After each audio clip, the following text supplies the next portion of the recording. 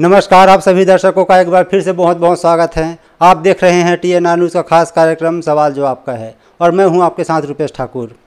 विधानसभा चुनाव के बाद लोकसभा चुनाव में कुछ ही दिन रह गए हैं। ऐसे में हम लगातार अलग अलग विधानसभा और लोकसभा क्षेत्रों में जा रहे हैं। लोगों से मिल रहे हैं, साथ ही नेता, मंत्री, विधायक और प्रत्याशियों से आपसे आपकी मुलाकात करवा रहे हैं। इसी बीच हम आ पहुँचे हैं रामपुर विधानसभा क्षेत्र में और वर्तमान में यहाँ से विधायक हैं फूल सिंह राठिया जी। आज हमारे साथ वही मेहमान हैं। सर, आपका बहुत बहुत स्वागत है। सर, राजनीतिक चर्चा में आगे बढ़ेंगे। उससे पहले संक्षेप में अपने बारे में हमारे दर्शकों को बताएँ, सर। देखिए मैं पहले जो अपना बड़ा भाई है, पैंतालीस साल से सरपंच था। उसके बाद 2000 में मेरे को बोला गया कि आप चुनाव लड़ोगे। तो मैं बड़े भाई से बोल दिया था कि मैं चुनाव नहीं लड़ूँगा। तो बोला कि आप चुनाव लड़ो जनपद में जाके। तो उसके बाद मैं जनपद चुनाव लड़ा तो मैं बोला बड़े भाई को कि अध्यक्ष बनाएगा तब मैं चुनाव लड़ूँगा जनपद का। तो ठीक है बोले कि मैं बनाऊँगा आपको। उसके बाद मैं चुनाव लड़ा अच्छा बोर्ड से हासिल किए जनपद में और अध्यक्ष बन गया 2000 में। उसके बाद 2005 तक जनपद अध्यक्ष था और जनपद अध्यक्ष के बाद आरक्षण हो गया महिला। तो मैं बोला, अब महिला हो गया, क्या करूँ? उसके बाद जिला पंचायत चुनाव लड़ा। जिला पंचायत चुनाव में भी मैं चौदह हज़ार वोट से जीता। उसके बाद फिर महिला हो गया अपना जनपद क्षेत्र जिला पंचायत क्षेत्र। उसके बाद मैं क्षेत्र क्रमांक एक से लड़ा।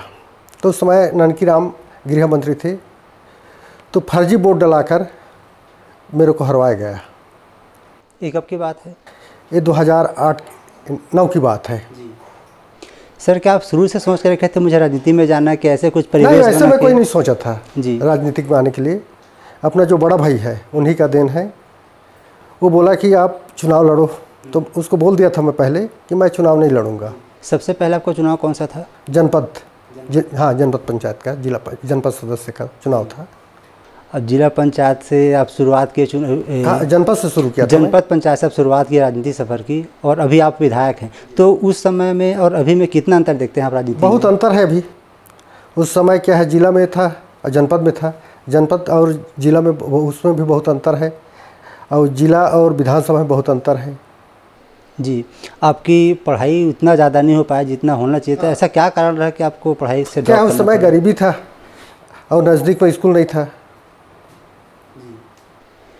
सर इस बार आप जीत कर आए हैं। बहुत अंतर के वोट से आप जीते हैं। लगभग बाईस हज़ार से ज़्यादा। बाईस हज़ार आठ जी और आपके जो विपक्ष में थे वो बीजेपी पार्टी के कद्दावर नेता थे नंदी ननकी राम कंवर जी। तो डर लग रहा था कि कहीं हार ना जाऊँ ऐसा कुछ? नहीं मुझे कोई डर नहीं था। जो अपने कार्यकर्ता अपने मतदाता जो अपने समाज का और अन्य समाज का जो सपोर्ट मिला मेरे को मुझे कोई डर नहीं था। मैं तो पूरा जीत का वो श्रेय लेकर चल रहा था। जी, सर, ये आपका विधानसभा क्षेत्र, आदिवासी बहुल क्षेत्र है।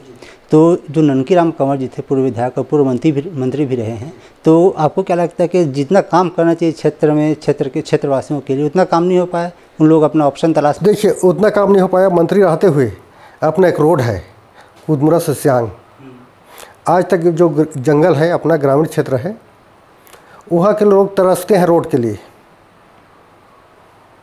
तो अभी जो समस्या हैं उन पर उस पर काम होगा आने वाले समय में? नहीं ज़रूर होगा। अगर नहीं होगा तो मैं धरने पर बैठ जाऊँगा।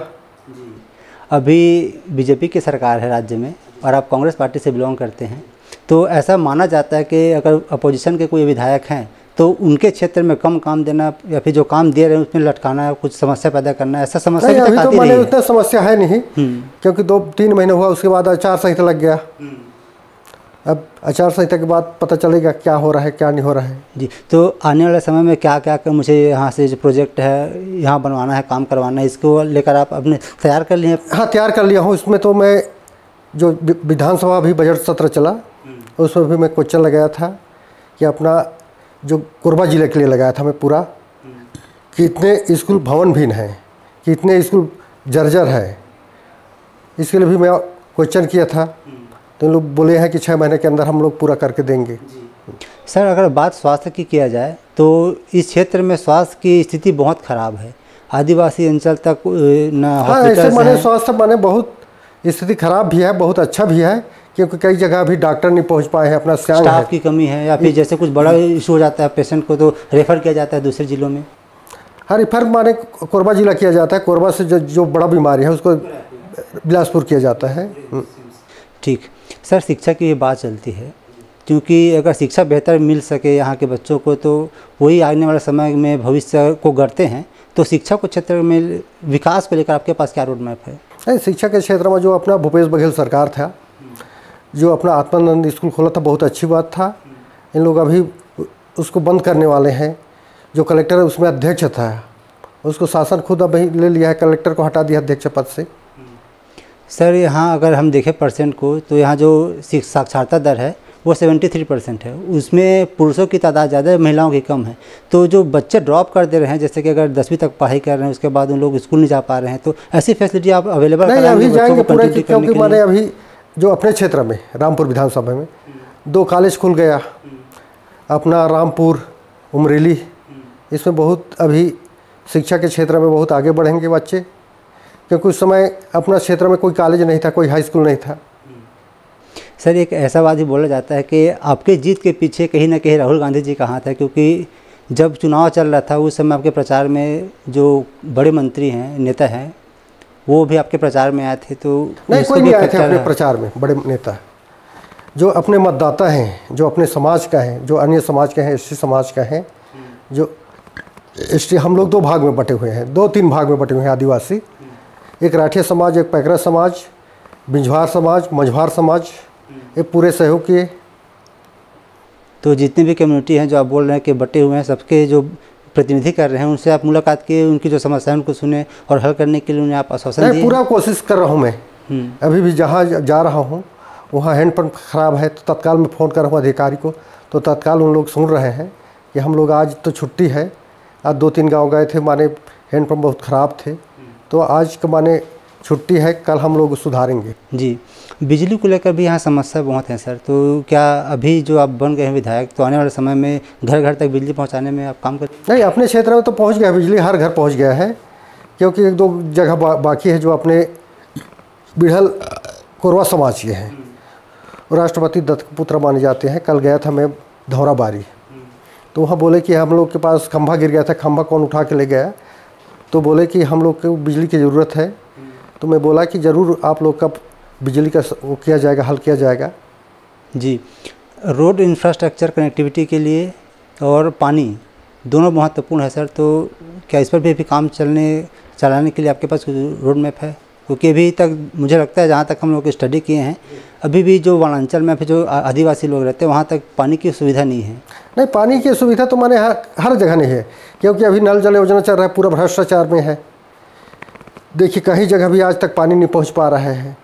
इतने खर्चा हो रहा है इतने टेंडर हुए हैं। नल जल योजना कहीं पर भी अभी सक्सेस नहीं है। अपना गया था नल जल योजना के बारे में अपना गुरमा श्यांग ग्रामीण क्षेत्र है। वहाँ भी पानी की समस्या है अपना विमलता है विमलता का मोहल्ला है सिरहुट वहाँ भी पानी की समस्या है उसके मोहल्ला है धौराबारी वहाँ भी पानी की समस्या है बिजली की समस्या है रोड की समस्या है। ये तो है इस पर अभी काम करना बाकी है। आपको क्या लगता है कि जो ननकी राम कंवर जी यहाँ से विधायक थे तो इतने वर्षों में क्या बेहतर काम कर पाए इस क्षेत्र के लिए? नहीं बेहतर काम तो कुछ नहीं किए। बता रहा हूँ अपना जो कुदमुरा से श्यांग रोड है इतना स्थिति खराब है रोड के बारे में कि ननकी राम जो मिनिस्टर रहते हुए कुछ नहीं कर पाए। तो इसी की वजह से उन्हें हार का सामना करना पड़ा क्योंकि ऐसा ही बोला जा रहा है कि उनका उम्र हो गया इस वजह से उनके उनके जगह पे ऑप्शन तलाश रहे थे यहाँ की जनता तो आपको जीता है। नहीं अब अपना तो जनता जीता है। जनता का पूरा सहयोग मिला युवाओं का सहयोग मिला महिलाओं का सहयोग मिला। सर यहाँ रोज़गार की संभावनाएँ बहुत अधिक है। लेकिन यहाँ के जो रोज युवा हैं उन्हें रोज़गार नहीं मिल पा रहा है। तो रोज़गार दिलाने की दिशा में कुछ काम होगा? अभी रोज़गार के लिए तो मैं उतना नहीं बोल पाऊँगा क्योंकि रोज़गार अपने क्षेत्र में कोई है नहीं कोई फैक्ट्री है नहीं।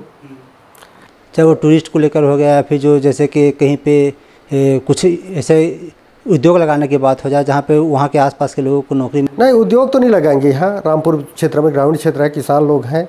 पूरे ग्रामीण क्षेत्र माने आदिवासी बेल्ट है। अगर रोज वो क- वो लगाने के लिए। लगाएँगे तो पूरा अपने जो ग्रामीण क्षेत्र के हैं वो दर दर भटक के बीच में। जी। जैसे कि अगर बोल रहे हैं सर अगर यहाँ उद्योग लगता है तो यहाँ जो खेती करने वाले लोग हैं तो उनकी जो ज़मीन है वो उन लोग ले लेंगे तो जो खेती कर पा रहे हैं उन लोग नहीं कर पाएँगे ऐसा आपका कहना लेकिन कहीं ना कहीं वो रोज़गार सृजन करने का भी एक माध्यम होता है सर। नहीं क्या है माने रोज़गार के लिए जो अपने आदिवासी है पूरे आदिवासी बेल्ट है उतना नहीं कर पाएँगे क्योंकि जो ज़मीन लेगा ज़मीन तो खरीद नहीं पाएँगे। सर आप किसान की बात की हैं। अभी भी ऐसे बहुत से क्षेत्र हैं जहाँ डबल फ़सल नहीं कर पा रहे हैं किसान चूँकि समस्या है कि सिंचाई की और बिजली प्रबंधन की। समस्या बहुत जी। कम है। क्योंकि अभी जो किसान हैं यहाँ तो नहर पहुँच नहीं पाते क्योंकि पहाड़ी एरिया है। जो। ट्यूबवेल की सुविधा से अपना सिंचाई कर पाएँगे। तो इस पर कुछ काम होगा भी आने वाले समय में चूँकि सर बहुत ज़रूरी है कि अगर किसान किसानी कर रहे हैं तो वो दो फ़सल ले चाहे वो तिलहन का हो दलहन के बाद या फिर दलहन के बाद कोई दूसरा अगर मौसमी अगर फल सब्ज़ी हो तो उसके लिए तो पानी बहुत ज़रूरी है। हाँ पानी ज़रूरी है लेकिन मैं इसकी कोशिश करूँगा कलेक्टर साहब से जो खनिज न्याय का पैसा है उसमें हर किसान को ट्यूबवेल दिया जाए ताकि किसान अपना दो फ़सल ले सकें। जो कांग्रेस का पाँच साल का समय था शासन के दौरान छत्तीसगढ़ में। तो क्या लगता है आपको कितना बेहतर से तरीके से काम कर पाए? ये जो तो अच्छा निकाली बेहतर काम गई थी। किए माने दो दो चीज़ अच्छा किया अपना गौठान खोला गया हर पंचायत में। समूह को माने कई प्रकार की उसमें लाभ दिया गया। इसके अलावा बहुत सारे योजनाएँ थी जैसे कि बेरोजगारी भत्ता देना। नहीं उसमें तो बेरोजगारी भत्ता मिलता था कुछ। तो जो क्या कांग्रेस इतना सारा जो पॉलिसी निकाल के रखे थे युवाओं के लिए महिलाओं के लिए बच्चों के लिए शिक्षा के क्षेत्र में तो क्या इसका जो लाभ है जनता तक मिले पहुँचे? जो पहुँचने के बाद जो जनता को बताना चाहिए कि हम लोग ये ये काम किए हैं। वो पहुँचाने में असफल रही कांग्रेस? नहीं उसको पहुँचाया लेकिन क्या है बताओ जो मत का आंकड़ा है। अपने रामपुर विधानसभा नहीं बोल रहा हूँ कि अन्य विधानसभा जो ए मशीन है उसमें भी मेरे ख्याल से कुछ खराबी होगा। अपने क्षेत्र में इतना स्लो चलता था ए मशीन दस ग्यारह बजे रात तक वोटिंग किए। दस ग्यारह बजे तक यहाँ वोटिंग चलता रहा? जी तो जो यहाँ रिटर्निंग ऑफिसर रहते हैं उसके बारे में कुछ बताया एक्सप्लेन नहीं उसके बारे में हम लोग शिकायत भी किए थे। वहाँ से खुद माने चुनाव अधिकारी आए और हम लोग बोले कि इसमें वोटिंग होना चाहिए। तो लोग खुद बैठकर वोटिंग करवाए और जो अपने कार्यकर्ता हैं वो भी खुद बैठकर वोटिंग करवाए। तो कोरबा में इस बार जैसे कि अभी कांग्रेस की है सांसद ज्योत्सना महन जी और इस बार बीजेपी अपना कद्दावर नेता सरोज पांडे को इस बार उतारी है मैदान में। तो कितना टकराव लगता है आपको? नहीं कोई टकराव नहीं है। बाहरी प्रत्याशी है और सरोज पांडे जी। इनको दुर्ग से माने यहाँ रामपुर भेजा कोरबा भेजा गया। ये बाहरी प्रत्याशी अपना जो ज्योत्सना महंत है जो अंठानवे से लोकसभा चुनाव लड़ रहे हैं उनके पति। यहाँ की जनता कुछ लोगों से हम लोग बात की सर तो उन लोगों का कहना है कि ज्योत्सना महंत बहुत कम फ़ील्ड में रही है क्योंकि जब एक सांसद रह जाए तो उसके अंडर में आठ विधानसभा क्षेत्र रहता है तो सब जगह पहुँच नहीं क्या है उसमें आठ विधानसभा है दो साल तो कोरोना लेके चले गए। और बहुत बड़ा क्षेत्र है ग्रामीण क्षेत्र है। इसमें क्या है बहुत दौरा भी किए हैं। उतना जितना दौरा किए उतना काम नहीं हो पाया। सर ये आदिवासी बहुल इलाका जैसे आपने बताया कि अलग अलग यहाँ लोग रहते हैं तो उनके विकास के लिए उत्थान के लिए कुछ स्पेशल कार्यक्रम आपके द्वारा चलाया जाएगा ताकि जो स्टेट गवर्नमेंट की योजनाएँ उन तक पहुँच सके? नहीं इसमें तो माने बहुत अपने जो आदिवासी बेल्ट है। आदिवासी बेल्ट होने के नाते मैं भी सोचूँगा कि कलेक्टर से बोलूँगा कि जो भी डीएनएफ का पैसा है, उसको किसान को दिया जाए व्यक्तिगत ट्यूबवेल खनन के लिए, ताकि किसान दो फ़सल ले सकें। जी। इसके अलावा एक बात और है, सर, जो यहाँ हाथियों का आतंक रहता है, जैसे कि गर्मी में या फिर ऐसा कुछ हो जाता है जब दल में हाथी एक साथ निकलते हैं और कोई गाँव में घुसते हैं तो गाँव को तबाह कर देते हैं। कभी कहीं कहीं जनहानि भी हुई है। या फिर फ़सल को फ़सल को तो नुकसान करते हैं तो इसको रोकथाम के लिए वन विभाग से आप बात कर रहे हैं? नहीं हम लोग माने अभी चर्चा नहीं किया हमें क्योंकि दो तीन महीना तो हुआ है उसके बाद आचार संहिता लग गया। इसके लिए ज़रूर चर्चा करूँगा मैं। डीएफओ से करूँगा और डिप्टी रेंजर से करूँगा कि इसके लिए व्यवस्था के लिए। जी। आपको क्या लगता है छत्तीसगढ़ में इस बार कांग्रेस की कितनी सीट आने वाली है? इस पर हम लोग तो बोलेंगे कि ग्यारह के ग्यारह सीट आएगा। ऐसा आपको सही में लगता है क्योंकि अभी वर्तमान में कांग्रेस के पास सिर्फ़ दो ही है और नौ बीजेपी बीजेपी के पास है। देखिए पिछले जो चुनाव हुआ बहत्तर सीट कांग्रेस का था विधायक। अभी पैंतीस है। वैसे में हम लोग उस समय जीते तो माने पूरे ग्यारह के ग्यारह सीट जीते हम लोग अभी ग्यारह के ग्यारह सीट जीतेंगे। वो चौदह में नौ सीट जीते।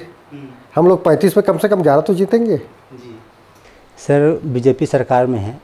आपको क्या लगता है जो वादे किए करके रहे हैं सत्ता में तो वो वादे पूरे कर पाएँगे? क्योंकि दो कहाँ तो करते हैं? खाली झूठ बोलते हैं। 2008 में भी इन लोग चुनाव प्रचार में घोषणा किए थे। हर आदिवासी परिवार को जर्सी गाय दूँगा। उसके बाद 2014 में हर परिवार को पंद्रह लाख रुपया दूँगा। कहाँ दिए? ये तो खाली उद्योगपति का शासन है। जो महतारी बंधन योजना कहीं ना कहीं बीजेपी को जीत दिलाने में बहुत बड़ा हाथ रहा है आपको भी लगता है ये? नहीं इसमें तो हम लोग भी अभी घोषणा पत्र किए हैं कांग्रेस के। आठ हज़ार तीन सौ माने तीन सौ तैंतीस रुपया। सालाना एक लाख रुपया। अपना घोषणा पत्र है पच्चीस गारंटी है। इस बार जैसे कांग्रेस गठबंधन जीत कराती है तो प्रधानमंत्री का उम्मीदवार कौन होगा? चेहरा कौन होगा? प्रधानमंत्री का उम्मीदवार तो हमारा राहुल गांधी रहेंगे। आपको लगता है कि इस बार जो इंडिया गठबंधन है बीजेपी को टक्कर देने में सक्षम होगी? हाँ पूरा माने इस समय पूरा राहुल गांधी बनेंगे मुख्य प्रधानमंत्री। ये दस साल प्रधानमंत्री नरेंद्र मोदी का कैसे देखते हैं आप? नहीं मोदी जी तो माने खाली झूठ बोलते हैं। देखिए उद्योगपतियों का इतना कर्जा माफ़ किए हमारे किसान को कहाँ कर्जा माफ़ किए हैं आज तक? जी। सर एक आखिरी सवाल। अगर आप राजनीति में नहीं आ रहे थे तो आप क्या करते रहते राजनीतिक में नहीं आते तो हम लोग खेती किसानी करते। ठीक है सर बहुत धन्यवाद आप हमसे जुड़े। जाते जाते हमारे माध्यम से अपने क्षेत्र की जनता को कुछ संदेश देना चाहेंगे? अब जनता को ही संदेश दूँगा माने जाते जाते आप लोग का कि इस समय ज्योत्ना महंत को जीता है पंजा छाप को वोट दीजिए। संविधान को माने बचाइए। ये चुनाव लोकतंत्र का चुनाव है। अगर अभी मोदी जी बन जाते हैं तो संविधान पूरा बंद कर देंगे। आरक्षण ख़त्म कर देंगे। तो आप सुन रहे थे फूल सिंह राठिया जी को। फ़िलहाल इस कार्यक्रम में इतने ही। अगली बार आपसे फिर होगी मुलाकात नए कार्यक्रम में नए मेहमान के साथ। तब तक के लिए अनुमति दीजिए। नमस्कार।